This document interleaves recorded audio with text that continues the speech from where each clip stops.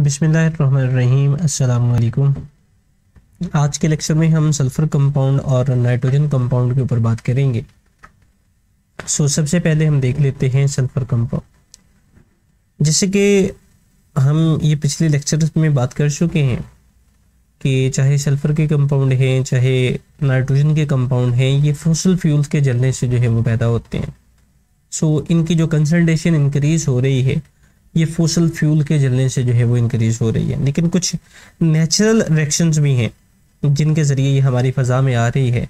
लेकिन नेचुरली जितनी भी पैदा हो रही है, ये हमारे लिए इस, इतनी इसकी कंसनट्रेशन मौजूद नहीं है, या इतनी ये तादाद के अंदर मौजूद नहीं है कि इंसानी सेहत के लिए या हमारे माहौल के लिए जो है वो नुकसानदेह लेकिन क्योंकि फोसल फ्यूल यानी ह्यूमन एक्टिविटीज़ की वजह से ये पैदा हो रही है, जो कि एक हद से ज़्यादा प्रोड्यूस हो रही है सो so, जब ये कंसनट्रेशन जो है वो इंक्रीज होती है सो वो चीज़ जो है वो हमारे लिए ज़्यादा ख़तरनाक साबित होती है। जैसे कि यहाँ पर लिखा गया है naturally occurring sulphur containing compound are emitted by the bacterial decay of the organic matter यानी ऑर्गेनिक मैटर को जब बैक्टीरिया जो है वो डिकम्पोज करते हैं सो उसके ज़रिए हमारे पास सल्फ़र के कंपाउंड निकलते हैं। इन वोल्केनिक गैसेस यानी आतिशां जो पहाड़ फटते हैं, सो उनसे जो गैसेज रिलीज़ होती हैं, सो वहाँ से हो सकती हैं आर फॉरेस्ट फायर या जंगलात को जो आग लगती है, जी, उसकी वजह से ये पैदा होती है। सो ये वाले जो सोर्सेज हैं, ये नेचुरल सोर्सेज हैं। But the concentration of the sulphur compound containing in the atmosphere because of the natural source is very small यानी जो नेचुरल सोर्स के ज़रिए, यानी जो हमने तीन बात की कि ऑर्गेनिक कंपाउंड के डिके के ज़रिए या तो पहाड़ों के फटने की वजह से जो गैसेज रिलीज़ होती हैं या जंगलात में आग की वजह से, इसके ज़रिए जो ऑर्गेनिक जो सल्फ़र के कंपाउंड प्रोड्यूस हो रहे हैं, वो बहुत समाल क्वांटिटी के अंदर जो है, वो प्रोड्यूस हो रहे हैं।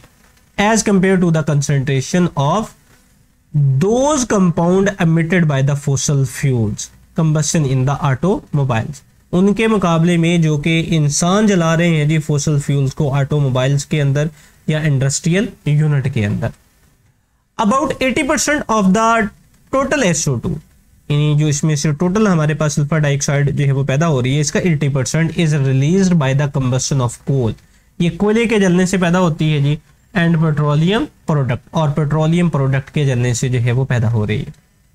अब ये जो सल्फ़र डाइऑक्साइड जब पैदा होती है जी ये हमारे माहौल में आ जाती है चाहे वो कोयले के जलने की वजह से हो चाहे वो पेट्रोलियम प्रोडक्ट के जलने की वजह से हो। सो so, ये जो सल्फ़र डाइऑक्साइड है ये इफ़ेक्ट क्या करती है?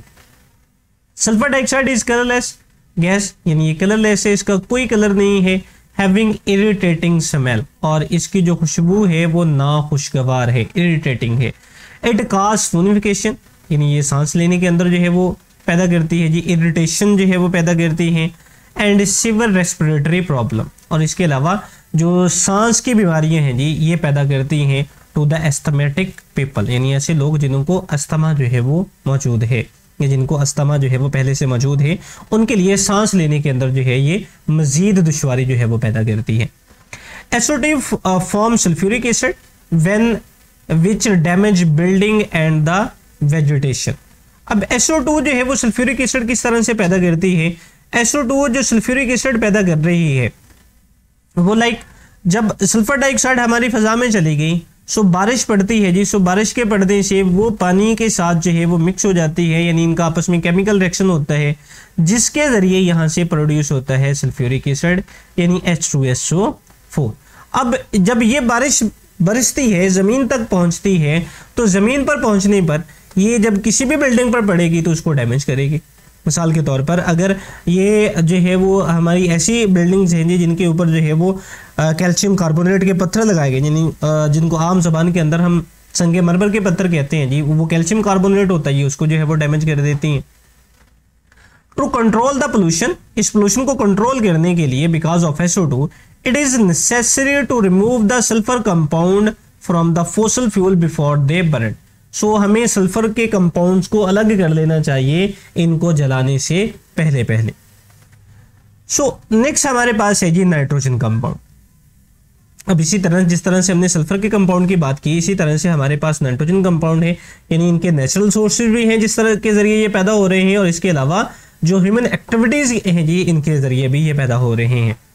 Naturally occurring oxide of the nitrogen mainly nitric oxide are produced by the electrical lightning in air, यानी बिजली की चमक से, यानी जब बादलों में जब बिजली चमकती है सो उसके ज़रिए जो फ़ज़ा में नाइट्रोजन है, ये नाइट्रिक ऑक्साइड के अंदर जो है वो चेंज हो जाती है।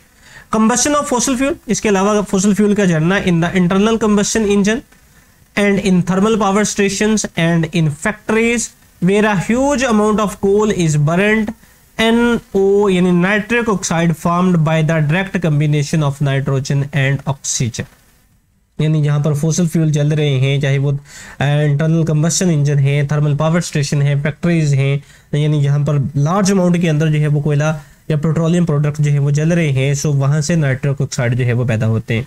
अब इन रिएक्शंस में अगर आप देखें तो नाइट्रोजन जब रिएक्ट करेगी ऑक्सीजन के साथ, यानी नाइट्रोजन का रिएक्शन होगा ऑक्सीजन के साथ तो यहाँ से प्रोड्यूस होगा नाइट्रिक ऑक्साइड अब ये वाले जो नाइट्रिक ऑक्साइड प्रोड्यूस होती है, ये मजीद ऑक्सीजन के साथ रिएक्शन करती है और नाइट्रोजन डाइऑक्साइड यानी NO2 जो है वो प्रोड्यूस करती है. Next mixture of these gases are represented by NOx इसको NOx के साथ रिप्रेजेंट किया जाता है ये नाइट्रिक ऑक्साइड भी हो सकती है और नाइट्रोजन डाइऑक्साइड भी हो सकती है। Either in the air through the automobile exhaust या ऑटोमोबाइल के एग्जास्ट के ज़रिए ये जो है वो हमारी फजा के अंदर जो है वो चली जाती हैं and chimneys of the thermal power station और थर्मल पावर स्टेशन की चिमनीज एंड फैक्ट्री जो कि हम ऊपर बात कर चुके हैं, ये थर्मल पावर स्टेशन से या फैक्ट्रीज की चिमनी से जो है वो निकलती हैं। इट अब इसके इफ़ेक्ट क्या हैं जी? ये इसके इफ़ेक्ट यहाँ पर लिखे गए हैं। इसको हम किसी और कलर के साथ यहाँ पर रिप्रेजेंट कर लेते हैं। यानी इट इरिटेट ब्रीथिंग ये सांस लेने के अंदर जो है वो दुश्वारी पैदा करती है। पेज को थोड़ा ऊपर की तरफ़ कर लेते हैं जी। सो नेक्स्ट हमारे पास है जी। ताकि यहाँ पर जो है वो लिखा गया है। अगेन उसी की बात की गई है जी कि इनके, हम मिक्सर को एन यू एक्स के साथ जो है वो रिप्रेजेंट करेंगे। अब ये आती हैं हमारी फ़ज़ा में कैसे हैं जी? थ्रू ऑटोमोबाइल एग्जास्ट ऑटोमोबाइल के एग्जास्ट के साथ। यानी जितने भी किस्म के ऑटोमोबाइल्स हमारे पास हैं, जैसे मोटरसाइकिल है जी सो उसके एग्जास्ट से जो धुआँ निकल रहा है, उसके ज़रिए हमारी फ़ज़ा के अंदर आ जाते हैं और chimneys of the thermal power station या थर्मल पावर स्टेशन की चिमनी से and the factories it irritate breathing passages यानी ये सांस लेने के अंदर जो है वो दुश्वारी पैदा करती है, ये सांस लेने में सांस के मिसाइल जो है वो पैदा करती है। These oxide form nitric acid combining with water यानी जिस तरह से सल्फ़र जो है वो पानी के साथ कंबाइन होकर सल्फ्यूरिक एसिड बनाती है, इसी तरह से जो नाइट्रेट नाइट्रोजन के ऑक्साइड हैं, ये पानी के साथ मिलकर नाइट्रिक ऑक्साइड जो है वो बनाते हैं। Nitric oxide is a component of the acid rain जो नाइट्रिक एसिड है ये एसिड रेन का एक जुज्व है एक कंपोनेंट है। सो so, ये था आज का हमारा लेक्चर जिसमें हमने सल्फ़र के कंपाउंड और नाइट्रोजन के कंपाउंड के ऊपर बात की और इसके अलावा इनके इफ़ेक्ट्स देखे कि ये किस तरह से जो है वो इफ़ेक्ट करते हैं। सो so, आज का हमारा लेक्चर यहाँ पर ख़त्म होता है। इजाज़त दें। अल्लाह हाफिज़।